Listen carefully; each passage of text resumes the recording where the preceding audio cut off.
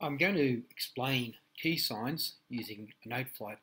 Uh, it won't take very long, um, so uh, watch very carefully. Now, here we are when we open up um, Noteflight. Uh, we are going to also just mainly focus on the key sign for D major because our two songs we are learning in class this term are both in D major. Okay, so if I were to write a D major scale, start on D of course, E, F, G, A, B, C, D. Have a listen to that. Just turn it up a bit.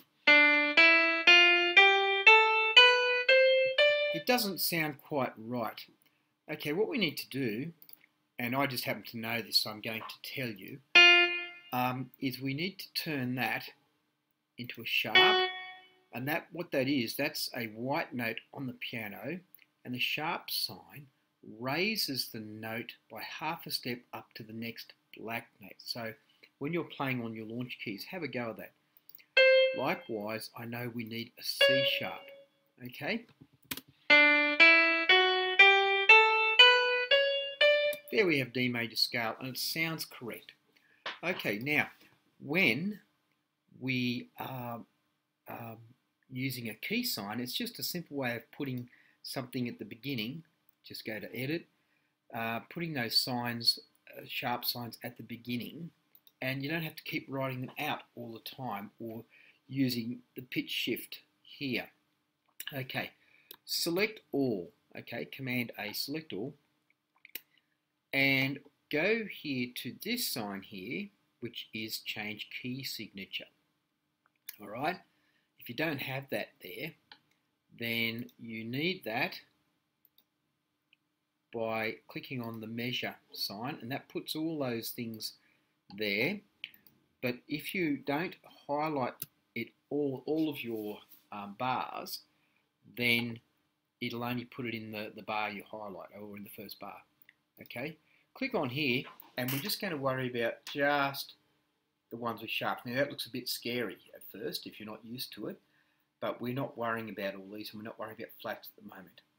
Uh, so one sharp, F sharp is G, and we want D major. So you click on D major, and there you go. Okay, so uh, let's have a listen to that now. You notice those sharp signs disappeared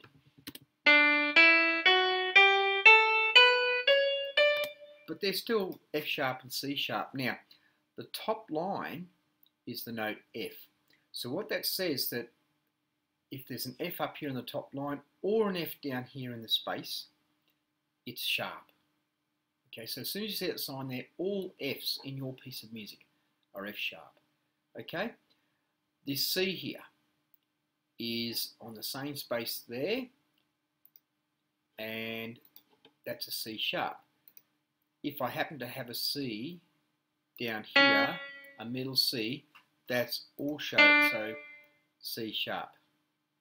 Okay, so all Fs in your piece of music are sharp, or on the black note on the keyboard, and all Cs are sharp.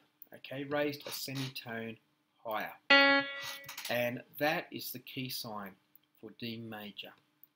Okay, all Fs all C's are sharp. And we put it there by highlighting all and then going to a key sign and making certain that the key sign for D major is selected.